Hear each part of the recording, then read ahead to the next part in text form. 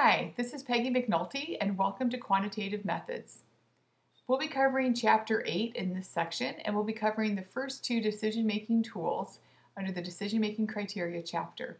So if you could pull open your PowerPoints and follow along with me and then we'll proceed. So let's first of all talk about what decision analysis is. And let me just show you this from the first PowerPoint and then I'll talk about it. So decision analysis is really a systematic approach to making decisions. And the key is that it should be based on logic, not opinion, not other viewpoints, but based on logic. And you should consider all possible alternatives, even if you don't think they're likely, because in our equal criterion approach, we can put a low likelihood on that approach. And then the third thing we want to keep in mind is we have to look at all the information we have to make a logical and reasonable decision. I think what you'll find interesting about this chapter is that two companies could be given the exact same data, but if they have a different decision making criterion at their company, they might make completely different decisions based on that criterion. For example, if a company is more optimistic and their perception is that they will have high demand in a new market, they might decide to launch in that, in that product or to build a new factory. Other companies, given the same data, might be worried about the worst case scenario and might want to try and minimize their losses and pick a maxi-min criteria, which is a little bit of an Eeyore approach, which would minimize a loss if the worst case scenario happened. So those are the two criteria we'll be talking about, the maxi-max approach, which is more of a positive approach, and the maxi-min. Let's talk a little bit about industries that might use the maxi-max and the maxi-min criteria. Currently, in the construction industry, green construction is experiencing a boom. So many of the executives in the green construction industry are considering a maxi max approach and expanding their criteria, their market in that area of construction. In the journalism newspaper industry, for example, many uh, newspaper publishers are looking at a maxi min approach where they are looking at the worst case scenario and trying to understand what would minimize any kind of loss in a worst case scenario. Neither one is the right or wrong answer. It depends on your industry and the viewpoint on your industry. And a third point I would like to make about this is one of the options we'll go over is to a do nothing option. And in no way could that always be the wrong decision or a poor decision. Sometimes not entering a market is the safest or best decision for your company. So oftentimes we'll have a do nothing option, and that could be a perfectly acceptable option for your industry. So what I'd like to do now is talk a little bit more about uncertainty and certainty. So if you could move to the next slide, we're going to talk about decision-making environments. So it's uh, slide number six, and this is what it is here. So there's three types of situations that an executive might be making a decision, or a manager. The first one is making a decision under certainty. What that means is you're making a decision when all outcomes are known. That does happen in industry, for example, in inventory management. If you know what all your inventory is in a warehouse, for example, and you're trying to make a decision as to what other distribution centers or retailers to send your merchandise to, you know all the material you have, you know the centers you're going to, and you're going, to optimize your answer. In that case, you're going to use the tool called linear programming. That's a chapter we're going to cover next after chapter 8. So please be aware that is still a possibility, but we're not going to work on that until next lecture. The other uh, decision making you can make is under uncertainty, and that's when you're thinking about the future. We don't know what the future will hold, and so what we're trying to do now is minimize risk, risk or maximize profit when we don't know what the future will hold. We have a prediction or a thought, but we don't know. So that's what I'm going to cover. And we'll cover two of those decision making methods in this segment maxi-max decision making and maxi-min. And then there's a third type of alternative in a decision making environment, and that third alternative I will show you here. And that's decision making under risk. When decision making under risk happens, companies are starting to look at their opportunity cost, the what if scenario. What if I had done this? How much money would I have made? And so, opportunity risk is a third area that we'll look at later on in this chapter. Today we'll focus on decision making under uncertainty.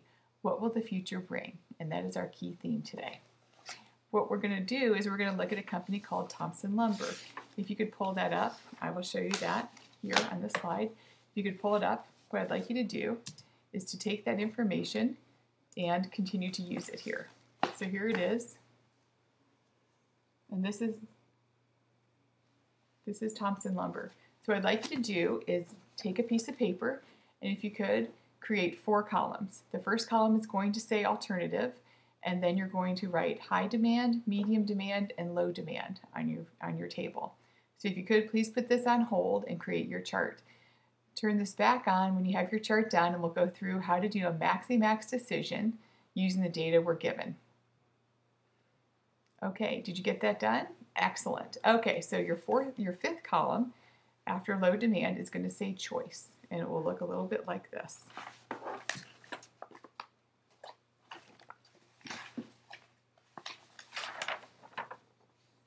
You see the choice column? Okay, I have the answers there, and I'll tell you how I got them. So if you first look at your criteria, we're going to let the words be our guide. So it says maxi max criteria. We're going to look at the word maxi max and let us and let that guide us on our decision on working on this matrix. So you're going to look at the second half of the word first. So it's called maxi max. So you're going to look at that second portion of the word called max.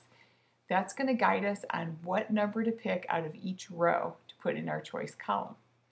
So if you look in column one, our choices are $200,000, $100,000, and losing $120,000.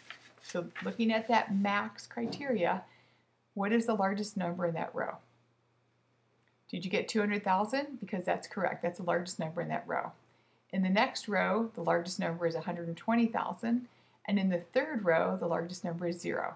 So you list all three of those largest numbers for the row into the choice column. And this is maxi max criterion. So it should look like this. Based on that information, you're going to use the second part of the word maxi max. You're going to use the maxi part. And looking at that maxi part, you're going to pick the largest number in that column. And the largest number in that column is $200,000. So what that means is if Mr. Thompson is, a, is using the maxi-max decision-making criterion, he will create or build a large plant and is expected to have revenue of $200,000. Okay, you guys good with that? All right, now let's look at the second scenario we're going to cover today, and that is the maxi-min criteria. Perhaps you could look at it as an Eeyore criteria from Winnie the Pooh. So if you're thinking the worst possible scenario could happen, what could you what option could you select that would minimize the negative impact of the worst case scenario? This happens in the pharmaceutical industry quite a bit. Uh, risk analysts will look at the possibility of a negative outcome of a pharmaceutical product and determine if that negative outcome could be so great that it's not worth it to launch the product from a consumer health perspective. And so the maxi min criteria tends to work very well in industries that have a perceived high risk um, in their options and want to minimize that risk. So let's look now at our next scenario. So if you could create a sixth column and put maxi min choices in. We're going to let the words be our guide and you've got maxi min. So you're going to look at the second half of the word first, min. Okay, so that's a trigger that when you look through each row, you're going to look for the minimum number. So what's the lowest number in row one? Let's take a look.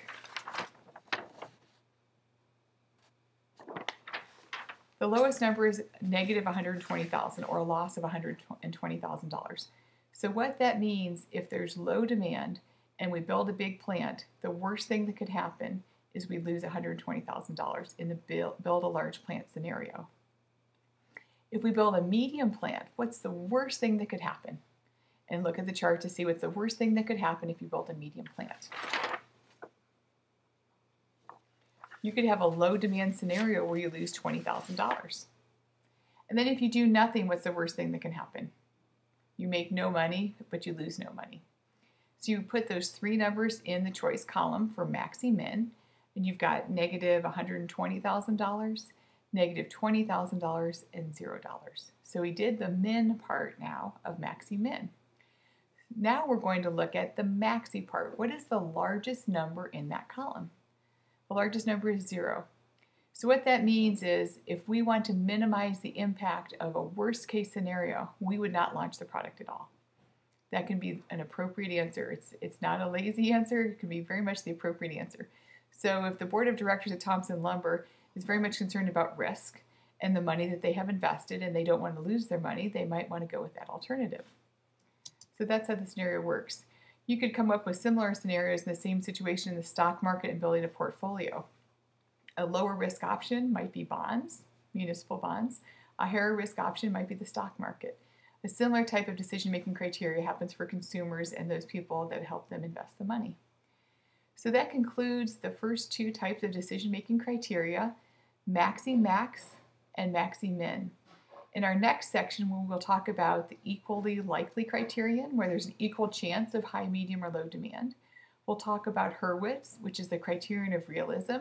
If your company believes there's an 80% chance of high demand and a 20% chance of low demand, we can do a weighted average to calculate what our outcomes could be. And then we can look at the opportunity loss.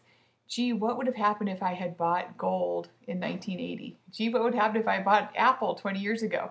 And then you can look at what your opportunity cost was if you had made that decision. So it's called the opportunity loss, the what if scenario. If, if I did not make this decision, how much would it cost me? So we'll talk about that next time. We'll talk about opportunity loss, um, averaging, the average criteria equally lightly, and the Hurwicz, the criterion of realism. So please feel free to go back through this. I have several homework problems for you to work on to reinforce your learning. I also have the solutions posted. So please go through the information and I think you'll find it quite interesting how the same data can lead to very different outcomes based on your criteria.